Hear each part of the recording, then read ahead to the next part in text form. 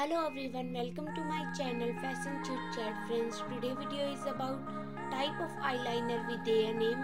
Friends video start करने से पहले अगर आपने चैनल को सब्सक्राइब नहीं किया तो इसे सब्सक्राइब कर लें बेल नोटिफिकेशन को ऑन कर दे I hope you like it so let's start the video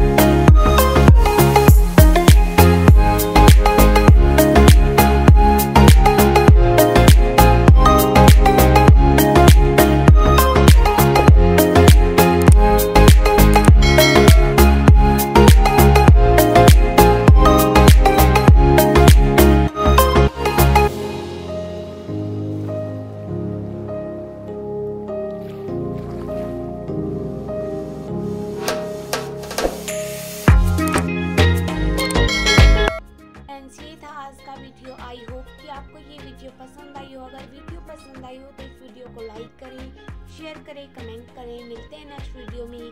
Take care of you thanks for watching this video